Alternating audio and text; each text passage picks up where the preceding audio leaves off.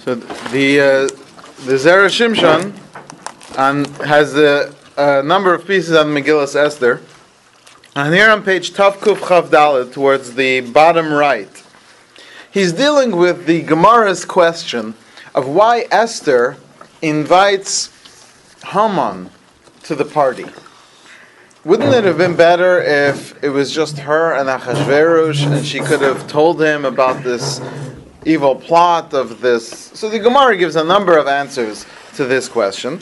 One of the answers that the Gemara gives was that Esther was trying to make a point to Hashem of how far the Jewish people, people have fallen, that this is what it has come down to.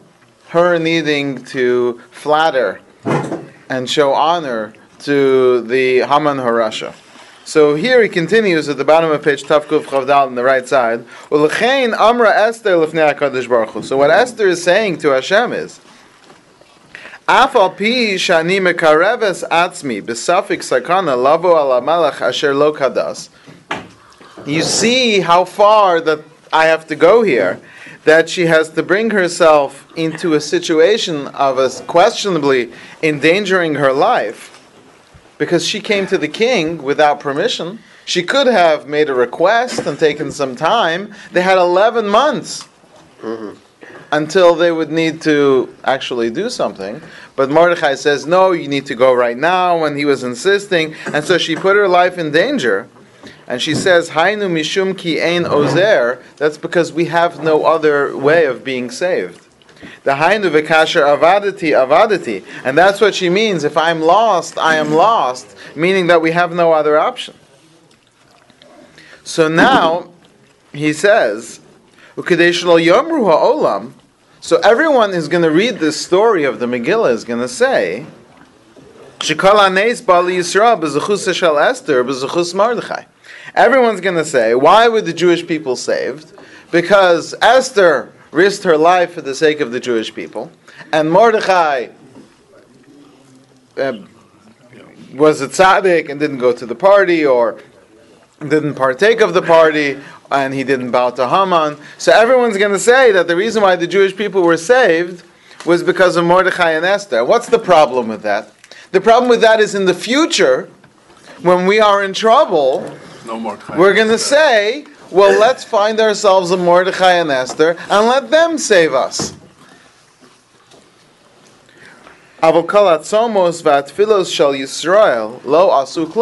But we will make the mistake of thinking that the fasting and the prayers didn't do anything. And the truth is, how much is that really a part of the story? When you retell the Purim story, how much do you talk about the Jewish people gathered in the shuls and they were fasting and they were praying? Maybe you'll give it a brief mention, but in, in the majority of the story, it's all about Mordechai and Esther. And this is going to close off the possibility of the Jewish people doing teshuvah in the future. So he says, and maybe you know you wonder why is it that this particular line is one of the most famous lines in the Megillah, um, the, the one he's about to quote. And even though it does kind of fit with the theme of Purim, which is where everything's upside down, but it's the other way around. Everything's upside down because of this line in the Megillah. So it says, "V'nahavochu." It was all um, turned over. Asher yishlatu haYehudim that the Jewish people they took control over mm-hmm. their enemies. So the Zera Shimshon just puts out an amazing pshat right here.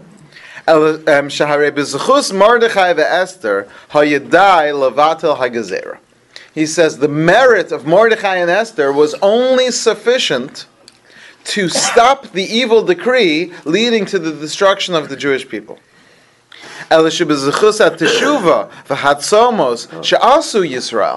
because the Jewish people did enough fasting and teshuvah,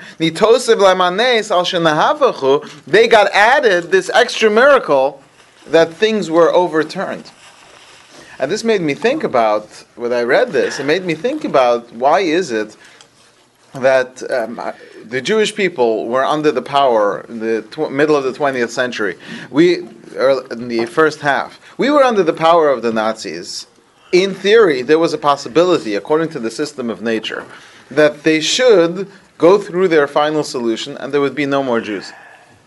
Their plan was they were going to take over Europe, they were going to take over the entire world and find and chase down every single Jew in the world.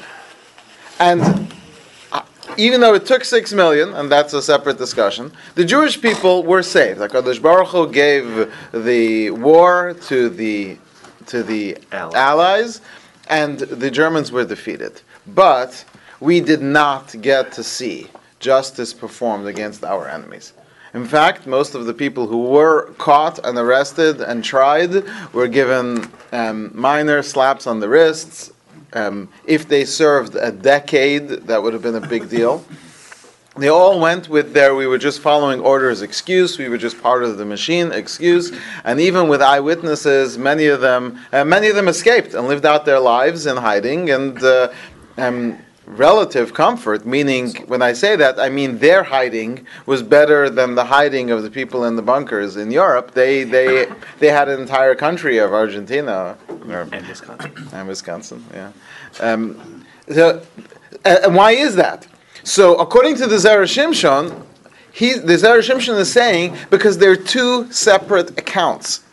there's the account which brings the salvation or the saving of the Jewish people, and there's an entirely separate account that allows the Jewish people to see justice and vengeance taken over their enemies. And he, he said, the Zera Shimshon says that Mordechai and Esther had the merit of saving the Jewish people. Let's not take that away from them. But that's all that would have happened is the king would have somehow allowed for the return of the letters, even though the letters can't be returned, but new letters would have saved the Jewish people.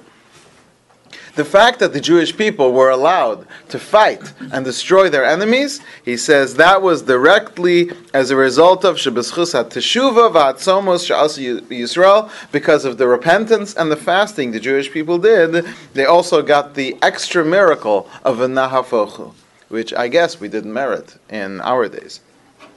The Shema Milah, he says, because this tells you, shows to Teshuva mi'ava, that they repented out of love. V'kaimelam, we have a a ruling teshuva mi'ava mehafeches. Teshuva out of love will change the sins, even if they were intentional, into merits, and that's what happened when the Jewish people did teshuva. They received this merit again. Lirmos al zeh. And in order to allude to this idea, um, that when you do teshuva, you turn over, turn over sins into merits, which will affect that in your life, your, it's turned over that you get the power over your enemies, almost as if when you sing you're not really talking about so much the fact that the war was overturned and we defeated our enemies. That those words "v'nohavach" really means we changed. We turned ourselves around, and as a result of that, things around us turned around. In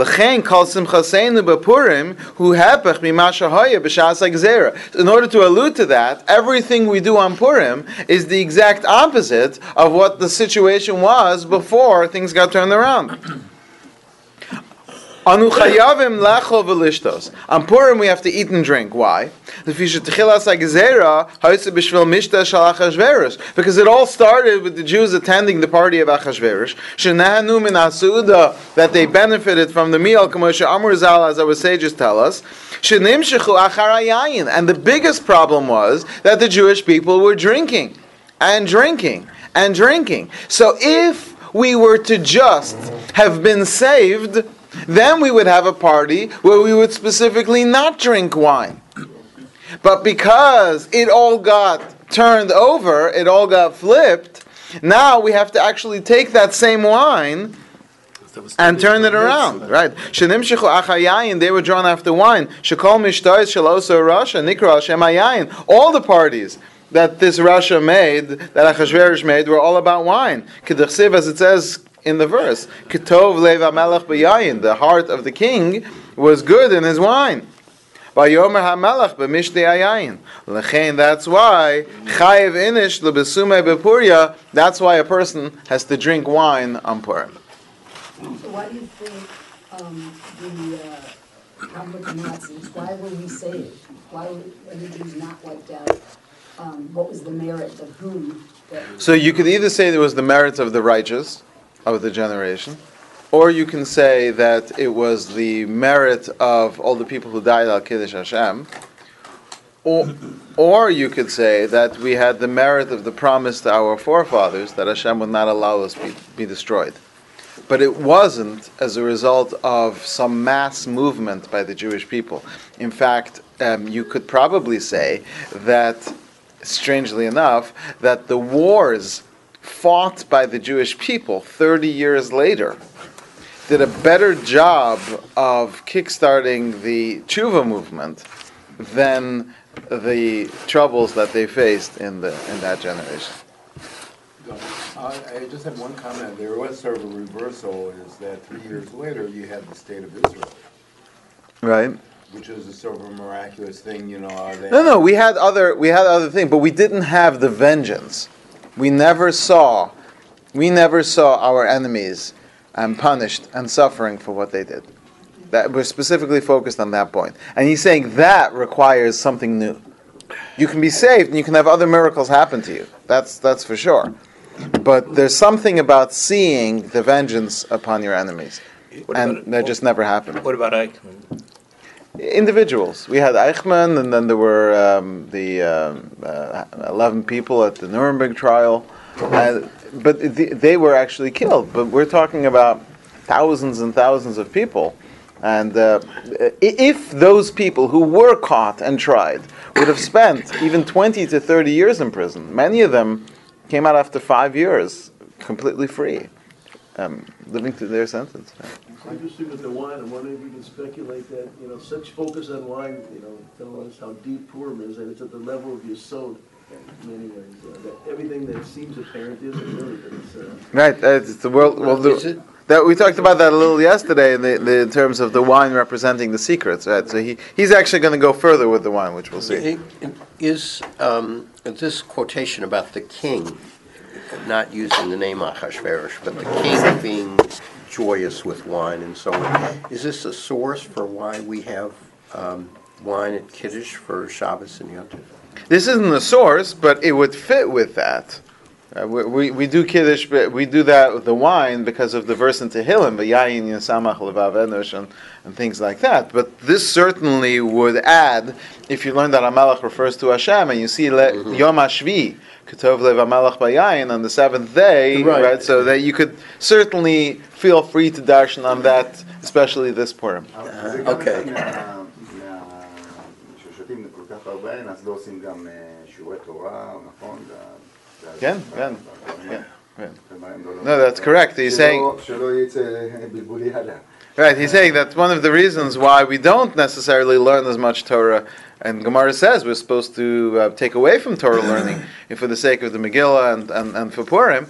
So he's saying because. Uh, because maybe since we drink, you know, you're not supposed to pasken shilos when, when you've had anything to drink and things like that.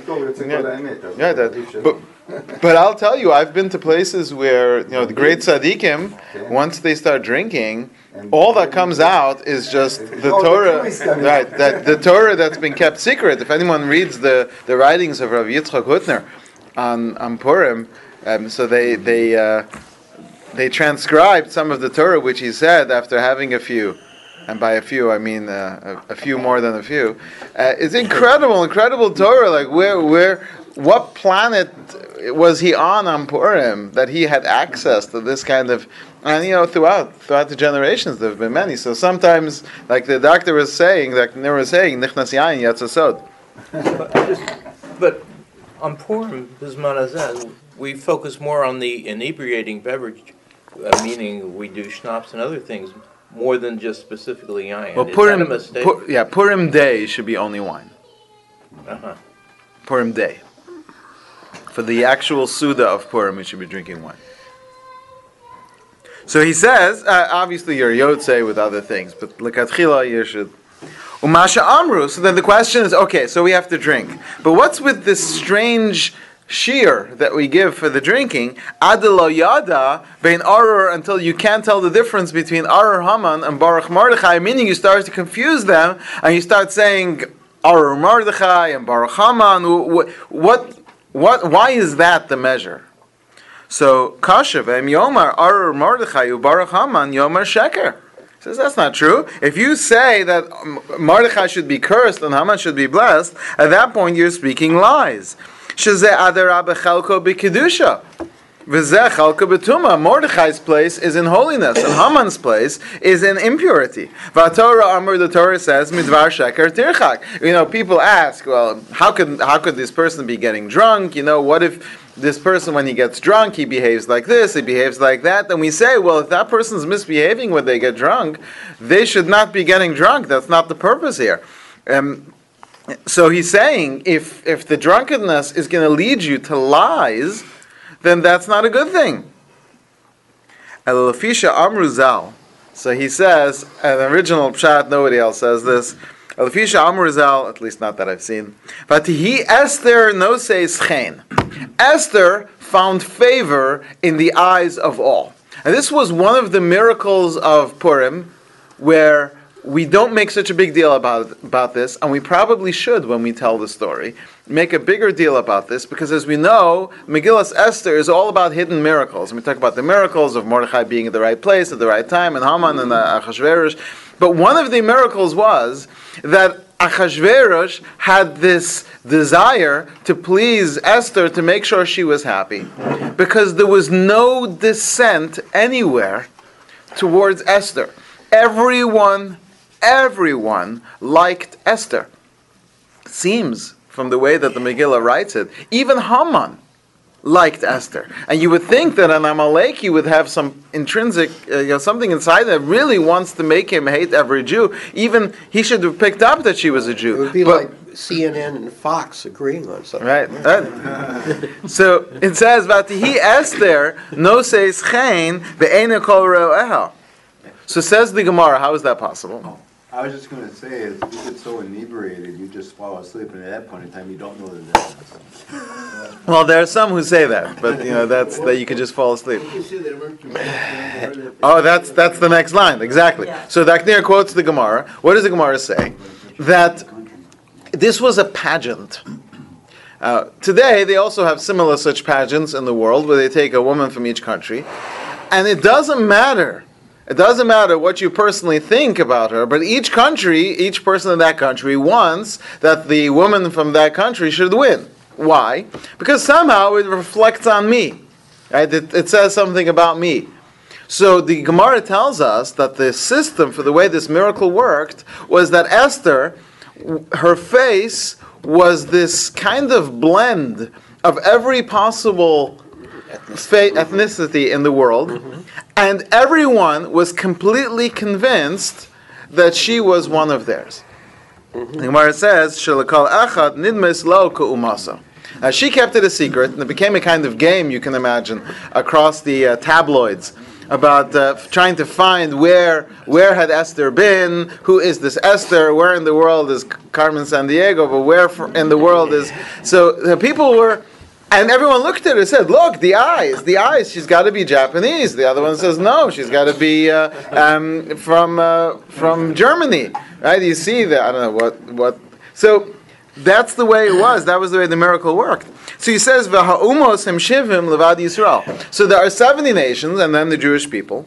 Amru shivim shkarim. So part of the story of the reason why the Jewish people were saved and the reason why we have Purim is a result of seventy lies that were told. V'af anu hayayin. So we drink wine. Shigematria ayin, which is seventy. V'nomar sheker echad, and we have to add one lie to the mix. Lirmos l'shivim shkarim she'amru kala shivim umos to uh, commemorate the seventy lies spoken by the seventy nations. So, so we say "Ba- Aru Mordechai Baruch Haman. It's not a lie if you're saying it as an official term. So if you're if you're not saying it as a statement, but you're saying it as a result of a lie, and what I mean is like this: if let's say I was to say to you, please tell me a lie. And you say, this room is, the walls are black. That you're not lying. You're telling me the truth because I asked you to tell me a lie. So he's saying that since the whole miracle occurred through the 70 nations telling lies, we drink the cup of wine, Yayin being the 70, and we speak a lie to commemorate the lie spoken by the 70 nations in order to remember and remind ourselves of the miracle that this woman looked like, that Esther looked like all 70, and that's what allowed everyone to love her, and that's an important piece in the puzzle, and we cannot discount any individual tiny piece of the puzzle. Amazing pshat. Is the yayin being seventy one of the reasons why we don't drink wine of other people of other nations? I know it's supposed to be because we Oh, you can tie mix that in. with That's the. nice. Uh, That's nice to separate ourselves. That's a good pshat. That's a good pshat. But that becomes the separation between us and the 70. Yeah, but you hear this is an amazing pshat. You're supposed to tell the lie to commemorate all those lies. I don't understand the connection between Esther finding grace in the eyes of all people and the need to tell a lie. That's, uh, what's the connection? Uh, there's we're I mean, but the need to tell a lie. Th- There was a miracle that happened. Yes. That um, we're assuming, without um, going into all the details, that that's an important part of the story. The fact that she was liked by everyone, which is why Achashverosh liked her, which is why even Haman likes her, which is why he makes the other party, which is why um, the people listen to her. All these things come together because everybody liked her, and that's because everyone said she's from our country. So there were seventy lies spoken. Now we need to commemorate those seventy lies. So we we drink the wine and tell an official lie, not a real lie, but an official lie. Representative lie. However, he takes this a little further. The idea is Shema shehamru heim lo sheker gomer, which is a concept by itself. What they said is not really a lie. And what we mean is like this: if let's say, if let's say, um, someone says to you, Instead of a lie, it's a mistake. They made Right, that's what he's going to say. Um, exactly. The, if someone says to you, "Who was the first person to enter this room this morning?" and you say it was me, and I say, "No, no, you're mistaken, because an hour before you came, there was someone else who came into this room. So you're a liar. You're not a liar. Based on the information I had, I told what I assumed was the truth." And that's not that's that's not called sheker gomer. That's not a real lie. See, he says shema she'amruhem lo haya sheker gomer wasn't a real lie.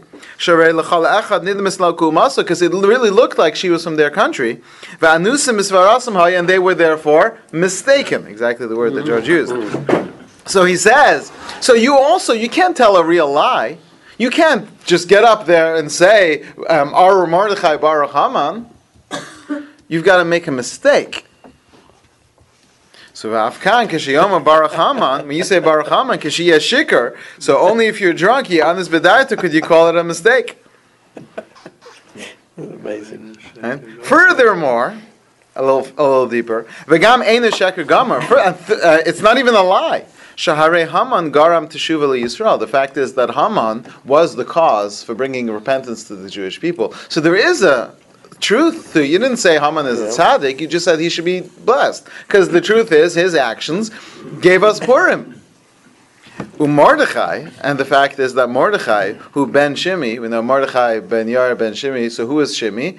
Um, so according to the Gemara, Shimi was the one who cursed David HaMelech, shekilal as David. Uksiv, and then says, kilal as chinam lo savo, v'karinan lo savo, it, it says that uh, a, an empty curse shall not come, but we say it means it'll come back to the person who threw the curse. So the truth is that Mordechai does own a curse to a certain extent. Because his forefather made a curse? Right, because it comes back on the descendants. Uh. Perikam in the Megillah, in fact, the Gemara actually says that. Amra Knesset Yisrael, the Jewish people were complaining. Ru'uma asali Yehuda, look what Yehuda did to me. The Ilukatle David Lashimi had David killed Shimi, Lohava Misyalid Mordechai, the Mordechai wouldn't have been born, the Garam Tzara Yisrael, because he brought us the trouble by not bowing to Haman. Meaning the Jewish people, when Mordechai didn't bow and the decree happened, the Jewish people said, if only David had killed Shimi. That's what the people were saying. So you see that the concept. So he's saying that is a, a certain amount of Arur Mordechai, which was part of the story. That's why it says at the end that Mordechai found favor with most of the people. Even after that, they still might have resented that. Okay, good. So now he shifts in and he says, now let's cover the rest of the mitzvahs of Purim. Kuneged aseres halafim kikar kesef asher am Haman lishkol. Haman was willing to give 10,000 talents of silver.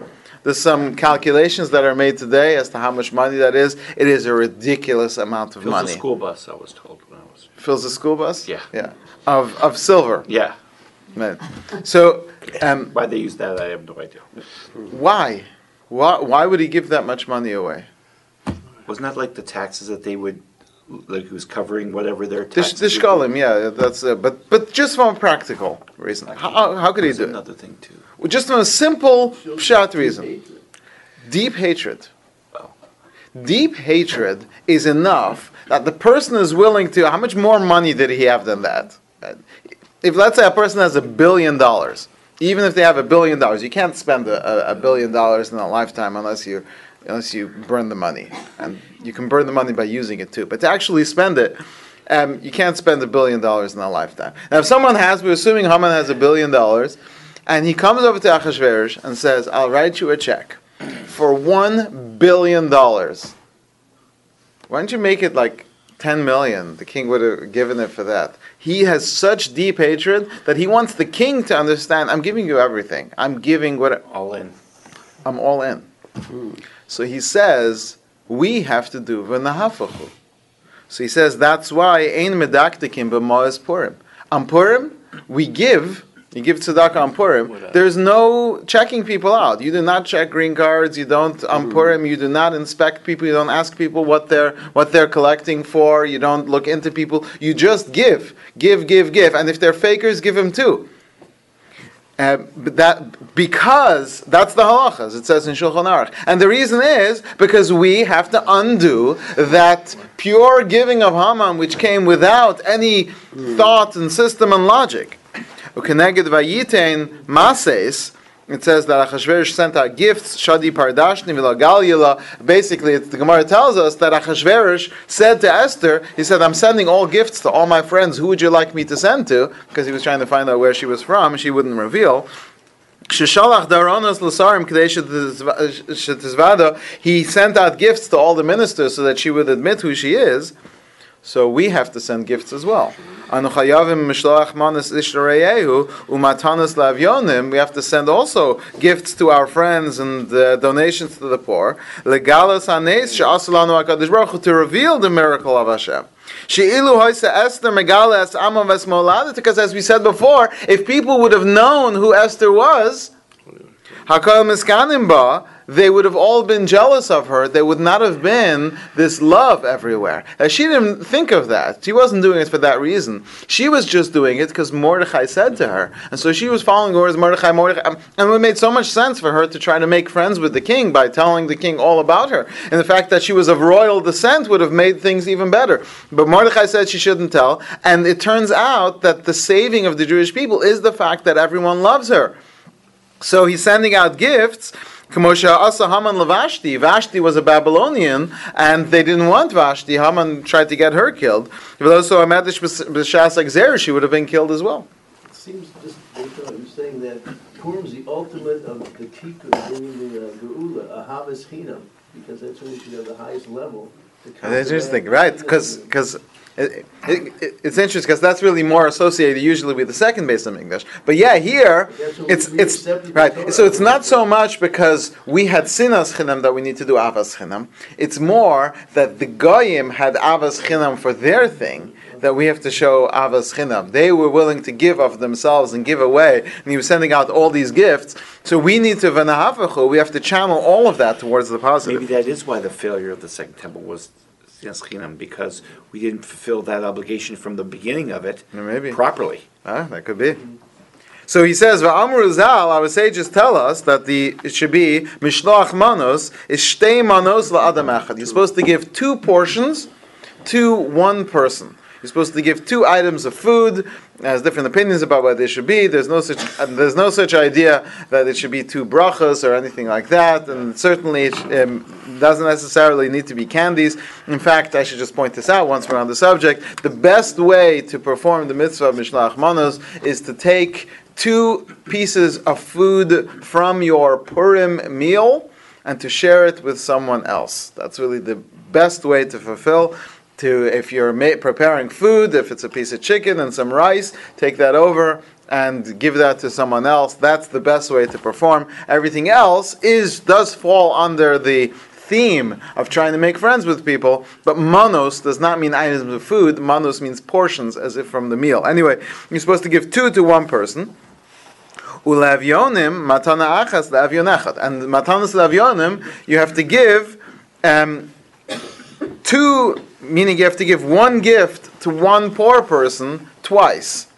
But you don't give two to one. You give one to one and then one to one. To another one. Right. least two of you.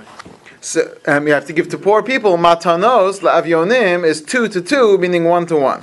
Lefisha Achashverosh dali karga.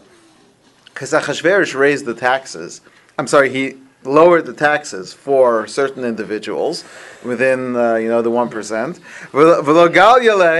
And she still wouldn't reveal who she would want to be within that tax break. Shada Pardashni, then he sent gifts, v'lo Galile, and she still didn't reveal. So all the special people got gifts and they got uh, reprieve on the taxes. So they got two good things. Avalav yonim, but the poor people, meaning those people in the areas that were freed from the taxes, lo kiblu akatava achas, only got one favor. Sheniftir me'amas, they got a tax break. They got what do they call it. Uh, they sent out uh, Rebate? Refund? um, no, there was a. When when the president just sends everyone the check. That's a What the- rebate.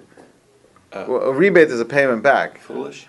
No, no, he sent a stimulus. Stimulus. Stimulus. Tax credit? They call it. Is a rebate okay? Okay. So he says, in order to commemorate this. So you need to copy what Achashverosh did, which is to send gifts to your friends. And to give a general reprieve from taxes by giving poor people money. Mitzvah lilbush bigdei Shabbos. The custom is that you wear nicer clothing on Purim. Now, on Hanukkah, there's no such mitzvah. You don't have to wear Shabbos clothes, and there's people who have this custom. But but on Purim, specifically, you're supposed to wear Shabbos clothes, unless you're dressed up, of course. And the dressed up works with this even better. The answer is Lefisha Esther no says because the whole point about the clothing is because Esther found favor in the eyes of all the nations, which is why you dress up like different things and different people. Or if you're um, if you're not getting dressed up, you should wear your Shabbos clothes so that you will find favor in the eyes of all. So the best way to get dressed up would be to be a chameleon. Maybe. Hey, there you go. Va'od lefi shivatil bash Esther Malchus, and also because it says that Esther donned herself with royalty. Hepech mimasha asa Mordechai, vayilbash sak ve'efer, which is the opposite of what mm-hmm. Mordechai does, mm-hmm. which is to wear the sack and the ash and the ashes. So he says the, the whole concept of dress up on Purim is all this concept of going from the sackcloth to the ashes to mm-hmm. Esther putting on royalty, Which which is why Haman said he had to put on the robes and everything because it's the hefech of the Right? ashes. Ah, very good. That- so that's what happens. The king says to him, "You bring Mordechai." So either you dress up, or you wear your Shabbos clothes. Either way, you are commemorating the fact that the story is all about identities and concealment of identities and revelation of identities and keeping those secrets and revealing those secrets and finding favor in the eyes of all. Parts of the story we don't really focus on. He says all these um, mitzvahs are meant to bring you back to that point. Even the Mishloach Manos and the Matanos le'avyonim is all because this was part of Achashverosh's scheme to try to get Esther to reveal this. Then he goes on, the Jewish people at the time of the decree, they didn't sleep. In fact, Balayla Hahu Nadidash Nasa Melech, the king's sleep was disturbed. And we say, Nanadadu Al Yonim Betachtonim, we mean the hmm. king below and the king above. And whatever that means, we don't understand this in our in our words. But there's this concept of Hine lo yanum v'lo yishan shomer Yisrael, but on some level, um, there is this concept of sleep that happens up above, but not on this night. Balayla hahu, it didn't happen. He says, on the and the Urim be'elu this is why you're supposed to stay up all night on Purim night, besimcha and happiness and joy. And uh, this is uh, this is a custom which is kept by many people today, uh, especially by those who follow the more kabbalistic teachings, the Sephardim and the Hasidim. They will stay up all night Purim night and daven vasikin. It's one of the few uh, days where there's a greater obligation to daven vasikin and uh, then they'll perform the mitzvahs in the morning and maybe take a nap during the day. The reason why that is, according to him, many struggle. Why should we stay up all night? So he's saying it's to commemorate the Balayla Hahu Nadada Shanas Melech. And if you need help staying up, you're welcome to come. We're having a party. Everyone's invited. He says that because Haman makes the tree for, or really the, the post, the, he makes for the sake of Mordechai. Ozen ishto, because he turned his ears towards the counsel of his wife, of Zeresh, and he listened to them, and he brought, bought into what they were suggesting. This is why we eat sweet things. Osam aznayim shel we call them Haman's ears. And in Yiddish, they're called Haman's Tashin, which is um, more Haman's pockets.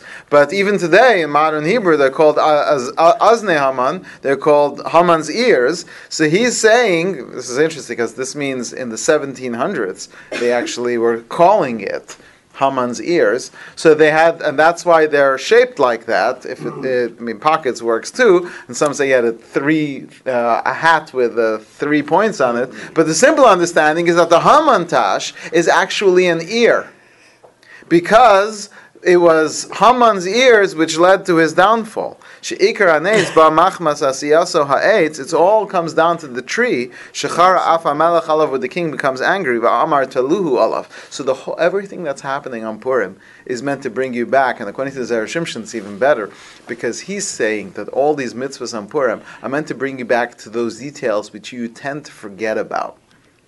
And he, according to him, it's all about the identity. And now he's coming back to Zeresh and her role. You think about it, Shoshanas Yaakov, we say Arama and Baruch Mordechai, um, Arura Zeresh, curse of the Zeresh. Why? What did she do? She suggested making a tree. He was asking, what should we do about Mordechai? He wanted to kill Mordechai anyway. And in fact, afterwards, when he's on the downfall, she says, oh, you started with the Jews. It sounds like she's jumping on the other bandwagon and, uh, and uh, joining with the Jewish people. She doesn't seem, and the answer is that no, she actually is a bigger deal than we realize. Natasha could also be reminding us of the same reason why we poke the Ivri in a year, that you aren't doing the things that I told you to do.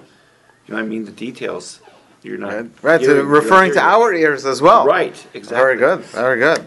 So uh, I, I think I might have mentioned this that, but when when Zeresh said to Haman, when it, it seems like he turned, he turned on him because he said, even Mizere HaYehudim, if you're going to fight against the Jews, you're going to you're going to fall down and you're, you're going to have no hope. But um, it, I, I heard that from the Lubavitcher Rebbe that he said that that no, she she was bad, she was evil throughout, and even this was an eitzah for him what to do. If now already you're going to be with the Jews, you're going to have a big mapala. But fall down before them, beg them. They're soft people. They're going to give you a break, and you you'll survive. She was giving him. And oh, a- you- You'll survive to fight another you, day. You'll survive. Yeah. All right, just- so just maybe maybe that would fit well with this. So he says, let's just finish this. Okay, neged hayidayim shel Haman, she'asu eitz gavaya chamishim ama, and because Haman did this with his hands, shemhachi mishtadlen lasus maisim shel simcha b'sasin lefi min ha- min hago, and that's why we do actions. It's all about physical actions of joy and all the sillinesses which we do, all the sh- Purim shtick which we do, is all meant to connect to the craziness of what Haman was willing to do. Then he finishes with this very deep concept, which I can't explain, but we'll just read it.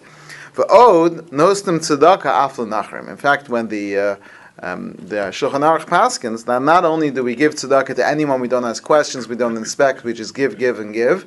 In fact, uh, you know, I've, I've seen this myself. I've seen a person, um, um, you know, in, in, it's a much bigger industry in New York, but it's done here as well. People go collecting. So there's a person who had an entire checkbook with printed checks, and he was just tearing them off and handing them to each person that comes by all day long.